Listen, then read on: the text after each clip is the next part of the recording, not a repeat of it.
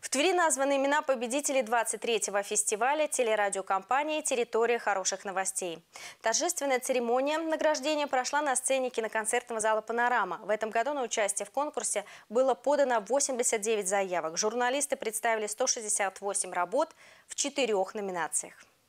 Работа фестиваля телерадиокомпании Центрального федерального округа «Территория хороших новостей» по традиции началась с круглого стола. В общении приняли участие сотрудники ведущих СМИ региона, представители общественности, ведущий федерального телеканала Игорь Прокопенко, руководитель Тверского добровольческого центра «Мы вместе» Юлия Саранова. Тема общения была обозначена так – настоящий герой нашего времени в СМИ. Как отметили собравшиеся сегодня, так можно назвать самых разных людей. Многодетная мама, это и водитель трамвая.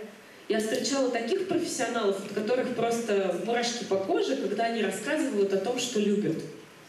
У меня э, с ребятами есть проект, называется «Поколение выбор». Это проект, э, помогающий ребятам, подросткам, осознанный выбор профессии сделать.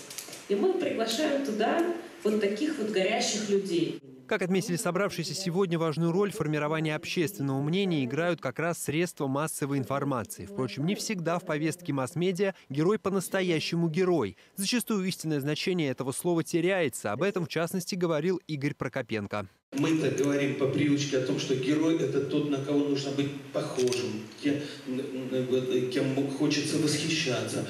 А мы-то в реальных вот, на носителях, мы-то часто видим совсем другие герои, и они тоже герои, потому что они интересуют людей.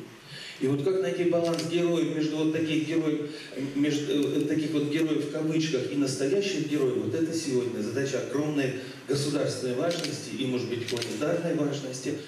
Также в ходе фестиваля прошла торжественная церемония награждения победителей и призеров сотрудников СМИ. В этом году на участие в конкурсе было подано 89 заявок. Журналисты представили 168 работ в четырех номинациях.